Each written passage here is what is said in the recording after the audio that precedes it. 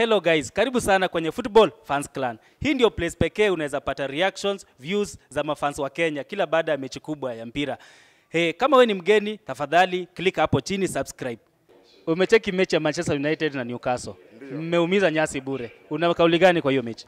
Mi naweza sema tumecheza vizuri, lakini ni vile Newcastle walikuwa wana, wameweka wamepack the bus, wameamua tu- kutuwekea SGR huko nyuma, wameamua kutuwekea Bukinyo huko nyuma, yani tusi, tusiwafunge, lakini waona wametoa points kutoka kwa Manchester, yani venye unasikia kwa ile Old Trafford, the theatre of dreams, ndio waliamua wakuja wa, waona wametoka huko na draw, ndio waweze kufurahia. Hiyo. Unajua sasa ni kama kwao ni win, wameweza kubeba ligi, lakini Manchester kutoka draw, bado tumecheza vizuri.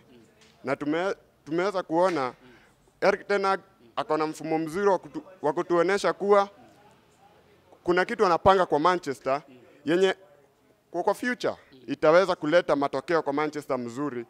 Manchester irudi kuwa pale mali ilikuwa, ndio tuweze kurudi kwa ile wimbo ya glory Manchester United. We, we know that we are the glory of Manchester United, the greatest team in the world and in England. Yes, Manchester is red. It is not, it will never be blue. Yes. Ferguson hakuwa itandikwa na Newcastle. Lakini inaonekana Ten Hag mechi yake ya kwanza ameanza kwa draw Genesis Newcastle na hii timu ilikuwa ni mboga ya Manchester United. Ni wapi mnaelekea?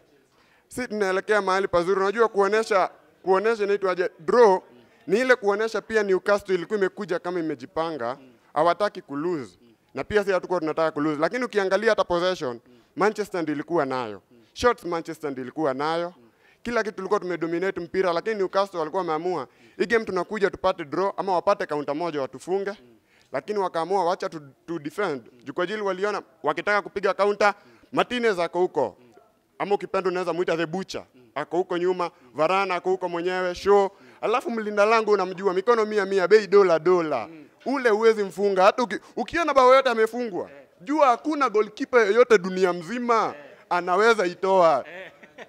Hakuna goal, ukiona De Gea amefungwa, hakuna. Okay. Iko hivi. We, we ungekuwa wewe ni mkufunzi Ten Hag. Ungedhani tactically ni nini angefanya ili ku break deadlock kushinda Newcastle? Unajua makosa yetu tulikuwa nayo, ile midfield yetu ilikuwanga na Casemiro na Fred na Bruno. Sasa Fred, Fred kuna makosa kidogo kidogo alikuwa anafanya, lakini tuli understand angemtoa juu Eriksen hayuko, sijui ni, alipa- ni kama ni injury yako nayo ile kidogo, naye naye McTominay naye aliweza kubaniwa juu ya kula kadi tano kwa mechi moja, kwa yani kwa mechi tano zilikuwa zinafuatana. Sasa ndio tunasema kama tungekuwa na midfield creative kama Christian Eriksen angeweza tungeweza kufungua the deadlock na tungepata ushindi wetu wa leo. Mm. Okay, toa kwa hii mechi ni player gani unamrate kuona kwamba amekuwa man of the match? Hii game yetu ule player ambaye amecheza vizuri zaidi, mimi naweza sema ni Luke Shaw.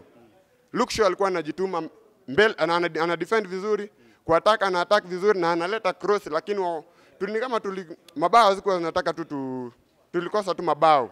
Mm. Sawa sawa, asante. Asante sana ndugu yangu.